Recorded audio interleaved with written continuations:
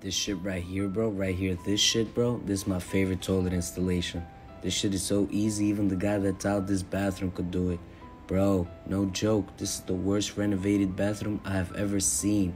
Look at the grout lines, bro. Looks like a five year old tiled this, I swear. Anyways, we're here to talk about how nice this toilet installation went. First thing, I checked the instructions just in case because last time I installed one of these was like three years ago.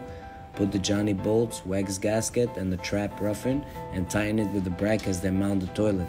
The toilet went in with a couple of wiggles, and that was it basically. The hardest part was tightening this screw, and that's not even Kohler's fault. I fucked up by grabbing a screwdriver that I used for a chisel, and that flathead was destroyed. After the mounting screws are in, I connect the water and flushed it a couple of times, and bam, broski, all done.